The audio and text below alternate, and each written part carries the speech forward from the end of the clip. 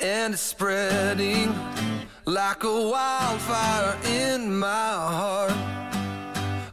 So, uh, so me and my wife, we're involved in prison ministry through our church, and you know, something that we're really passionate about. It's something that, for me, uh, every time I'm there, I look at these men and women, and I'm just thinking to myself how,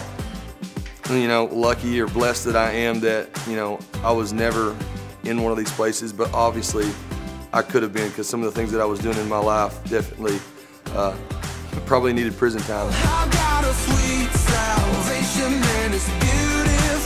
And uh, for me to look around and see these women and, and men and to know their stories and hear their struggles, you know, us as Christians and for the people in the prisons, I think,